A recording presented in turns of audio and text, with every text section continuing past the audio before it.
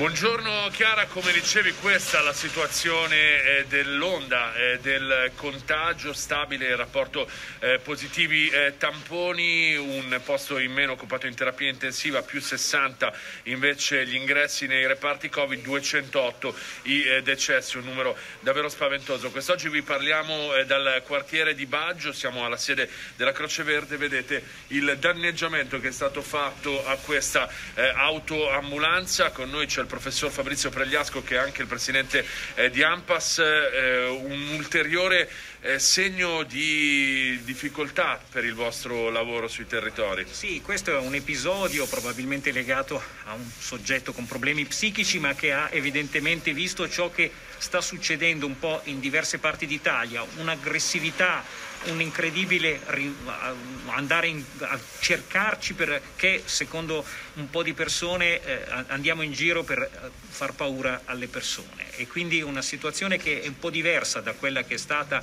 nella prima ondata dove dai balconi quando andavamo a prendere le persone ci applaudivano. Ora abbiamo questa difficoltà, una difficoltà che è legata sicuramente al problema di, di sofferenza, delle difficoltà economiche, della lunghezza di queste privazioni che porta a reagire in modo sbagliato. Il nemico è il virus, non, è, non sono le strutture che cercano di assistere. AMPAS con le sue pubbliche assistenze in Italia, insieme a Croce Rossa, Misericordia, è stata un elemento fondamentale.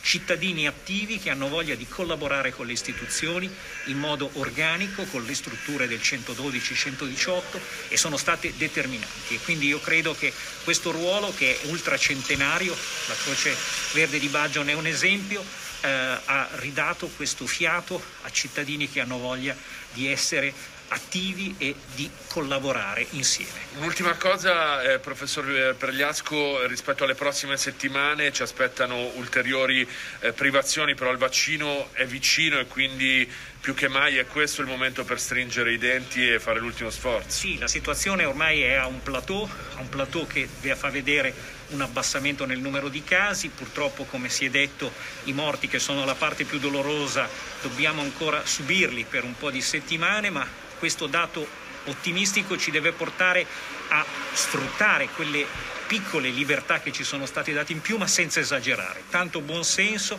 proprio per poter consolidare un risultato e vivere meglio in attesa della vaccinazione. Vaccinazione che non avverrà nel breve periodo, dobbiamo immaginarsi una pianificazione che prenderà un po' di tempo, ma ci permetterà nel corso del 2021 di poter chiudere questo capitolo di una convivenza purtroppo infelice con questo virus. Grazie, grazie mille al professor Pregliasco e da Milano, quartiere Baggio, la linea tornata in studio.